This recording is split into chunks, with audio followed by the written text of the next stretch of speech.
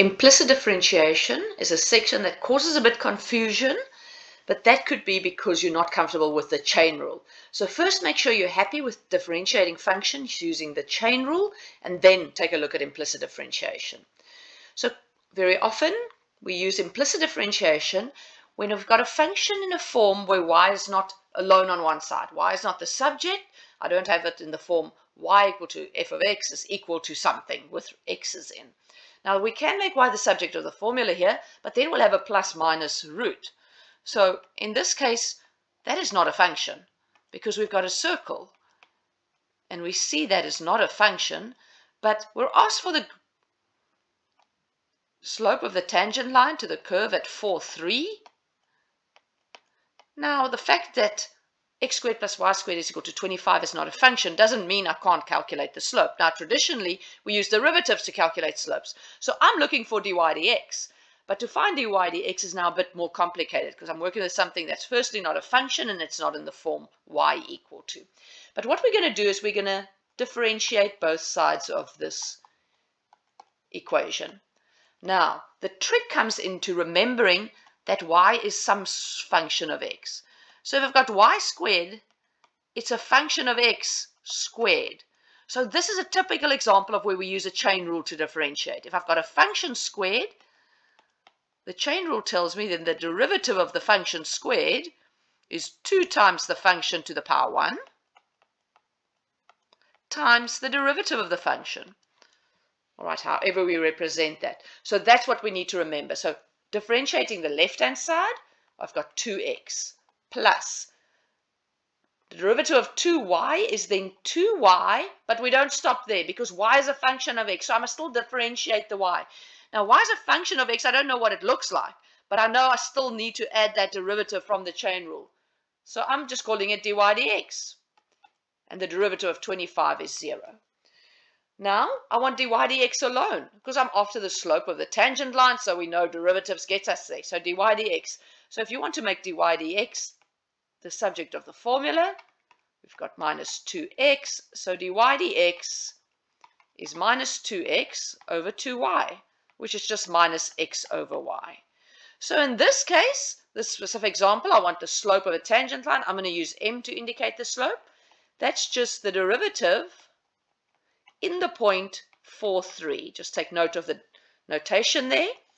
So that means I substitute x equal to 4, y equal to 3 in the derivative. And that's minus 4 over 3. And if we look at the sketch, that looks like a reasonable number for the slope of that tangent line. So let's look at another example. Now this one we can make y the subject of the formula very easily and there's no problems with it. The reason I'm doing it is just to show you that implicit differentiation gets me to the right answer. But the we normally use implicit differentiation for some more complicated examples, but we're looking at the simple one just to make sure we're happy. If I had to change the subject of the formula for that one, y would be 1 over x. And I know the derivative of 1 over x, or x to the power minus 1, is minus x to the power minus 2, or minus 1 over x squared. So we're going to keep that there and see if we get the same with implicit differentiation, which we will. So we differentiate both sides. Now, Yet again, y is a function of x. So I've got x times some function of x. Now, firstly, it's a multiplication, so I have to use the product rule.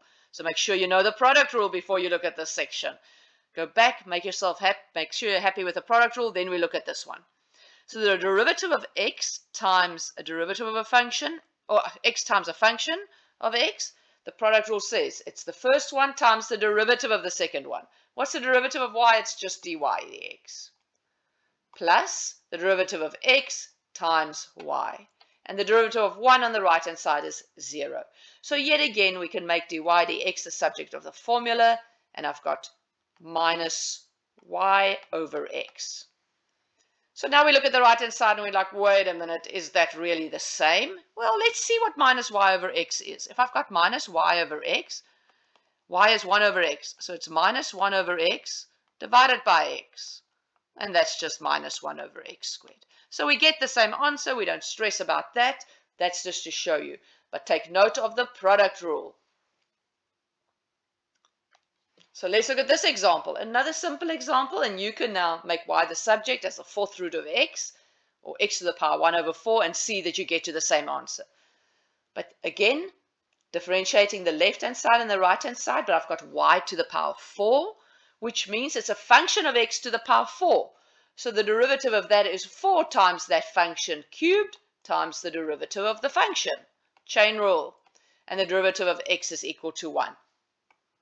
So dy dx is equal to 1 over 4y cubed. And you can check if you let if y is equal to x to the power 1 over 4 if you get to the same answer by differentiating that, but you will. All right, so now let's look at a real example. And let me just mention later on when we look at the derivatives of curves like functions, exponential, logarithmic, trigonometric functions, inverse trigonometric functions, then we're still going to see how the product rule, the chain rule, and the quotient rule applies to those functions and similar with implicit differentiation.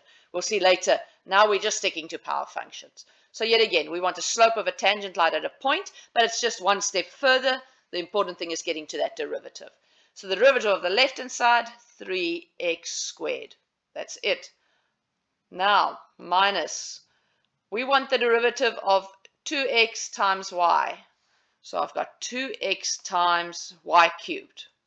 So we want that derivative. So it's again a product rule, but we have to keep track of what we're doing. So the minus applies to the whole thing. 2x times the derivative of y cubed, which is 3y squared dy dx, chain rule because y is a function of x, plus the derivative of the 2x, which is 2 times y cubed, is equal to, I've got minus 15, the derivative of that is 0. So now we've got to do some algebraic manipulation, make dy dx the subject of the formula. If you want to try that yourself, pause here and we'll see if we get to the same answer. So we've got 3x squared minus 6xy squared times dy dx plus 2y cubed is equal to 0. So let's get dy dx alone. We've got minus 3x squared minus 2y cubed So dy dx is that right-hand side divided by minus 6xy squared. Now you can make that prettier by dividing or multiplying the top and bottom with minus 1, but that doesn't really matter in this case. Just want to check that I didn't make a mistake, and I did make a mistake. This is minus 2y squared. So that becomes plus 2y squared, and there we go. All right, so we're not finished with this one. We want the gradient of the tangent line, and that gradient is dy dx in the point 1, 2. So we substitute that in. x is 1, y is 2, so I've got minus 3 plus 16, 2 times 8, divided by minus 6 times 1 times 4. So minus 6 times 24, so that's minus 24. So that gives me 13 over minus 24. And there we go. So that is implicit differentiation. Now it can get uglier and messier. And like I said, when we look at the other functions, we look at how to use implicit differentiation for logarithmic, trigonometric, and exponential functions.